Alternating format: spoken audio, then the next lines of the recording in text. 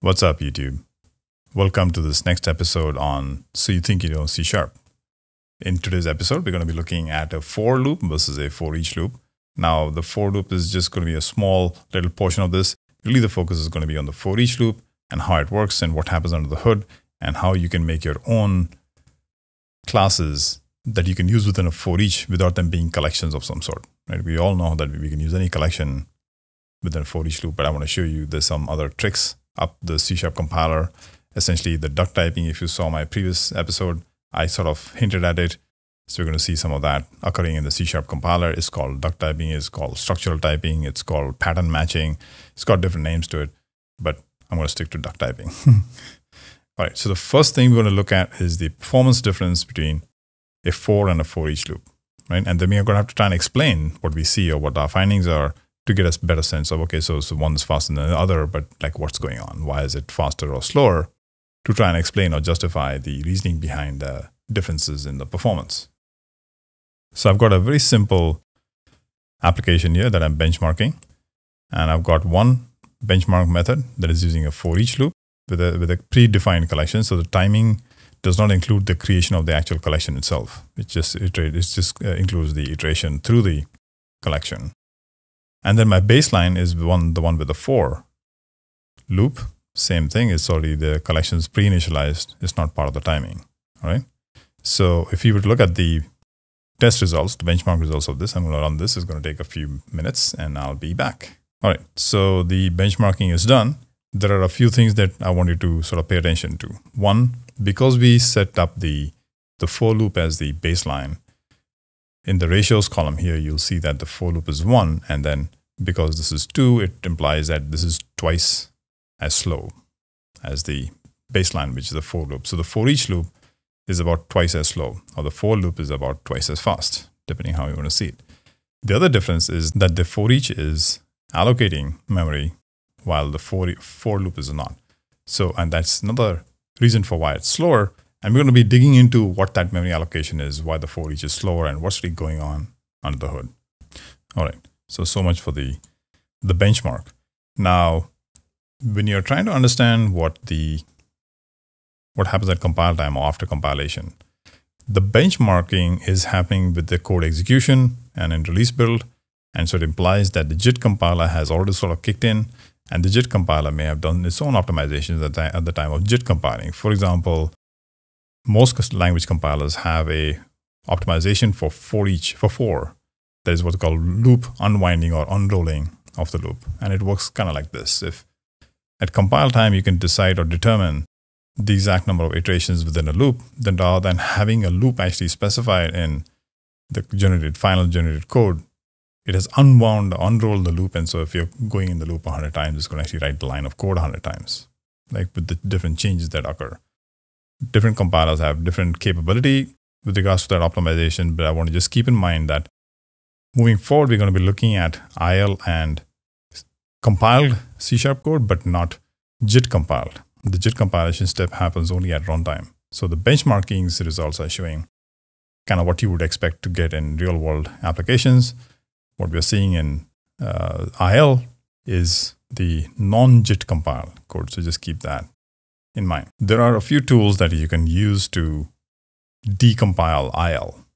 Right? So once I build the application here and as an EXE, I can then use various tools to kind of reverse engineer that IL back to C sharp. Now, for what we are trying to do, we don't actually, we would like to have a tool that takes the IL and produces the rawest raw C sharp code, meaning let's say C sharp version 2 code rather than C sharp version 7 or 8 tools, because the language features are adding that magic. And we want to see kind of the raw version of that C sharp, not the the C sharp version that has the magic in it, if that makes sense. And there are different tools. There's IL Spy, which is a free tool you can download from the marketplace, from the Visual Studio Marketplace, and it'll install into Visual Studio, and you'll see me using that. There's a beautiful website called SharpLab, sharplab.io, where you can copy paste some C sharp code, and as long as it can compile it, it will show you a decompiled version of that or the C sharp lowered version of it is unfortunately also very smart, as a result of which it's not showing you the real lowered code, but we'll try and make use of a couple of tools like this to get a better sense. And eventually we can also just go down to IL and see if we can decipher from look, by looking at the IL what's actually occurring in C sharp at the, the C sharp level past the compilation step. The rest of this video is trying to be trying to explain why the for each is slower than the for loop and maybe from all of this you might say you know when i can use a for loop maybe i should use a for loop and i'm going to leave that up to you i would suggest only in cases where the slowness has shown to cause a problem if you're building some framework level code that is in a hotspot meaning lots of times being called you know thousands thousands of times and there has been demonstrated issues performance issues switch over to a for each for loop and see if that speeds it up. Of course, memory allocations also take place with a for each loop. So maybe you want to be smart about that in hot paths. And so typically only in hot paths should be looking for some sort of optimization at this level. All right. So, okay. So I'm going to take all of this code and I'm copy, going to copy paste it into sharplab.io. And there it is. And what you're going to see here is that this is the code I pasted in, sort of our original code here, and then this is the code that has been produced after, let's say, a compilation step. So you can see here that the for each benchmark method has been converted to something a little more than the original, which is over here, right? This is what we wrote, and this is what it became. Right off the bat, you should be able to take away that a for each loop does a couple of things. Most times, it does a couple of things. One, it uses the get enumerator method. In other words, whatever this thing is that you want to iterate over has to have a method called get enumerator for it to start working. And then it puts it in a try finally because the enumerator typically is an idisposable. And so it's going to try and dispose it if it's an idisposable because of the way the guidance is behind implementing an, an enumerator is that it needs to make copies of the original data so that in case you're multi-threading or whatever the copies cannot affect each other while iteration is going on. So it's thread safe. So it depends on the implementation really but that's the guidance. And as a result you might want it to be a disposable. So once you're done with that iteration you can dispose of it and it's not holding on to unnecessary memory allocations. Inside the try finally we have a while loop. And this is how it works with any enumerator so when you have a get enumerator, the enumerator itself has these three met three properties. One is current, the method called move next, and another method called reset, which is hardly ever used. So you'll see it over here. The move next returns a bool, and so if it can move next, it'll continue on. And then once it continues on, the current property will give you the current item, and then you can use that within the loop. So your code that you wrote like this with the for each gets converted to code that is like this. The for, this is one way it gets sort of lowered, if you will, in C sharp. Right? Your for each becomes a while loop with the try finally. But it's a little smarter than that. Actually, it's quite a bit smarter than that. What if you were using an array instead of an enumerable, which is what we're doing here? So if I were to now make this, let's say here I did uh, a to array, you'll see that the same for each has now changed to using a simplistic for each. But this is not really a simplistic for each. This is where I said the tools don't tell you the full story. They don't tell you the correct story, if you will. They're trying to be smart when they decompile the code, meaning from IL back to C sharp, based on language features and everything else. They're kind of they're trying to get back to the language feature that we have today, or the language version that we have today, and the features that that language version has, which is not what we want. We wanted to show us the raw code. Really, what's happening here is when it works with an array or a list, rather than producing a using the get enumerator method and the try finally and a while loop is going to actually use a for loop, right? So the for each loop can either be lowered to a try finally with a while loop inside it and the get enumerator method being used, which is a expensive method, as in there's an allocation taking place right there or it could be converted to a regular for loop because it knows it's working with an array or a list. All right, so that's the optimization. So that's two different things that are going on at the time of lowering with for each, depending on what's happening. What is the get enumerator? Now, there's guidance behind how to implement it. Of course, we have a feature in C Sharp since 3.5, version 3.5, called the iterator pattern that is implemented using the yield return and it makes it very, very simple for us to implement an enumerable without having to go through a lot of lot of work. Right. So if you want to know how it's to be done, I've made a video many, many years ago. I think in the C sharp. So you think you can C sharp. Uh, so you think you can LINQ, or seven, eight years ago. And I forget whether it's a part one or part two thing. It's probably part two, where I talk about implementing our own enumerator and seeing what it takes to do that. And that's kind of like what's happening here. So anytime you see, for example, here in the compiled version of the source code, that it says it's doing a get enumerator like that, this is not a free method. This is a lot of work. This creates a new instance of another object each time you do a for each. And then that object has to be garbage collected, as well as the fact that it's doing that work and it's in a while loop with the try finally, with the dispose, all that adds to sort of the performance problems, if you will. Not problems, the slower performance as compared to a for loop, right? Now, this get enumerator method here is also pretty cool. One would think that this get enumerator is probably because you know there are IEnumerable interfaces, uh, IEnumerator interfaces, and you have to implement in your classes. You have to have this class implement the IEnumerator and the IEnumerable interface for it to work here in, as a for each loop. So I'm going to take this method here. I'm just going to write this here in, back in my code. we have to make this true, right? And if I look at this get enumerator here, you'll see that's the IEnumerable interface has a method called get enumerator, and the get enumerator method or uh, interface is a whole bunch of uh, other methods, the move next and the current and everything else I was talking about. So that's all showing up over here. Um, this is the enumerator of T. So if you look at that, here we are. So every enumerator has a current property, a move next method, and a reset method. But for the most part in .NET, C Sharp at least, nothing actually uses the reset method on a, a enumerator. But if you're implementing the interface, you need to implement that. Maybe it's doing nothing. Maybe you throw an exception. That's up to you. Most things don't actually call it. All right. So then one would think that if you wanted your own thing that you wanted to for each over, that you would have to implement the IEnumerator interface that requires the IEnumerable interface and so on and so forth. And it's true to some extent, as in you have to do that. I mean, you don't have to do that. If you did that, it'll still work with the for each, right?